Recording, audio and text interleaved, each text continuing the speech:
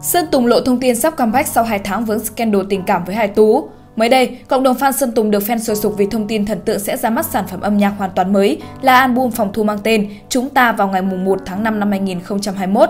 Nổi tiếng từ ca khúc Cơn mưa ngang qua năm 2011, nhưng đến năm 2021, nghĩa là gần 10 năm sự nghiệp ca hát, Sơn Tùng mới có kế hoạch ra mắt album phòng thu đầu tay. Hội fan của dòng ca Chúng ta không thuộc về nhau không giấu được sự vui mừng xen lẫn nghi ngờ vì Sơn Tùng đã im mắng trên mạng xã hội trong suốt hơn một tháng qua, gần như chẳng có dấu hiệu sẽ trở lại với những sản phẩm âm nhạc mới. Thông tin Sơn Tùng ra mắt album phòng thu đầu tay đã được hé lộ vào thời điểm nam ca sĩ trình làng MV Chúng ta của hiện tại. Theo đó, sản phẩm tâm huyết của giọng ca gốc Thái Bình phải rời lịch phát hành từ năm 2020 sang năm 2021 vì tình hình dịch Covid-19. Album thuộc thể loại R&B Disco. Cuối năm 2020, phía Sơn Tùng cho biết sản phẩm chúng ta sẽ ra mắt vào ngày 1 tháng 5 năm 2021, nghĩa là chỉ còn đúng một tháng nữa. FC Sky sẽ có nhạc mới để cài view nếu thần tượng thực hiện đúng theo kế hoạch, không trễ deadline.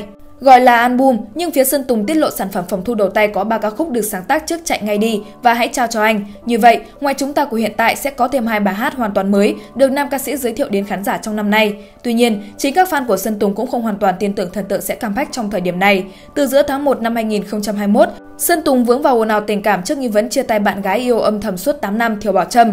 Xuất hiện nhiều đồn đoán cho rằng sự xuất hiện của nữ diễn viên độc quyền thuộc công ty Sơn Tùng và cũng là nữ chính MV Chúng ta thuộc về nhau Hải Tú đã làm chuyện tình cảm của nam ca sĩ và Thiều Bảo Trâm giãn nứt đường ai nấy đi. Trước đó không lâu, cộng đồng người mộ Sơn Tùng MTP đã vô cùng bất ngờ khi fanpage chính thức của nam ca sĩ bỗng nhiên cập nhật ảnh đại diện mới. Đáng chú ý đây không phải là một bức hình mới, mà là hình ảnh của Sơn Tùng trong dự án Chúng ta của hiện tại cùng loạt hashtag đi kèm. Nhiều người vô cùng thắc mắc về lý do fanpage tự dưng cập nhật ảnh đại diện mới cùng với thông tin về sản phẩm âm nhạc đã quá cũ kỹ. Có giả thiết cho rằng phải chăng đây chính là thông báo của Sơn Tùng cho phần 2 của MV trước đó, cũng như là màn trở lại sau hàng loạt lùn xùm từ giọng ca gốc Thái Bình. Tuy nhiên, theo một số dân mạng, việc fanpage Sơn Tùng cập nhật ảnh đại diện là do Facebook tự động thay đổi giao diện mới. Việc ảnh đại diện được thay đổi sẽ không hiển thị trên bảng tin, mà chỉ những ai trực tiếp click vào ảnh mới có thể thấy được mốc thời gian cập nhật. Hóa ra tới thời điểm hiện tại, Sơn Tùng vẫn quyết tâm im lặng dù loạt lùm xùm đã trôi qua khá lâu. Hiện tại người mộ Sơn Tùng đã cùng nhau kêu gọi giữ vững tinh thần đoàn kết để chờ ngày thần tượng tái xuất.